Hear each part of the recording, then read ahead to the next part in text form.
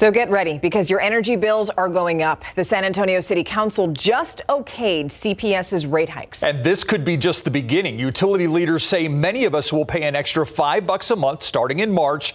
That's not where it ends, though. Let's bring in our Patty Santos, who has been following the story. Patty, there hasn't been a rate increase in eight years, and now CPS Energy talking about three increases over the next five years.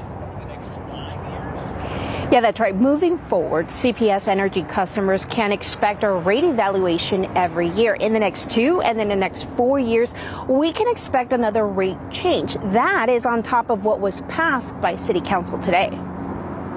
If you think about the prices of other things, there's nothing that I can think of that hasn't gone up in price by at least 4% in the last eight years. And uh, that's more than what CPS is asking for this time around. Bill Day, chair of the CPS Energy Citizens Advisory Committee, says tonight's rate approval by San Antonio City Council ensures your power and gas stay on. CPS Energy interim president and CEO promises transparency with the funds. We're going to be making, uh, we'll, we'll, get a work plan together and uh, we'll, we'll provide updates on our website periodically on the amount of investment we're making in our power plants. Here's how the $73 million will be put to use starting tomorrow. 31 million will be used to plan out an infrastructure resiliency plan to better prepare for summer and winter peaks. 15 million will be spent to assess the current 22-year-old software system that runs the day-to-day operations of the power grid. It's going to take us into the future that protects us against cyber and all the risks that come with having an old system like we've got. 14 million to prepare prepare for the city's growth in energy demand and 13 million to fill 400 vacant positions and make equity pay adjustments in the next 2 years.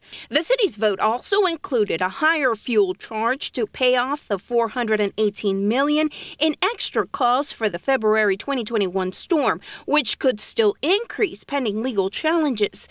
In the next year, CPS Energy will begin talking about the future of the coal plant at Calaveras Lake there are financial implications for our customers when we make the decision on what we're going to do with Spruce, which, which is why it's taken this long to get to this point.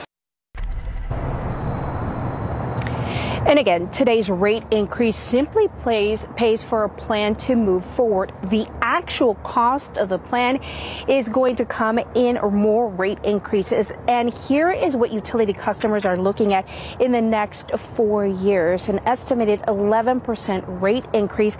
That is on top of what was passed tonight. That's more than 14% rate increase in less than five years. Stephanie.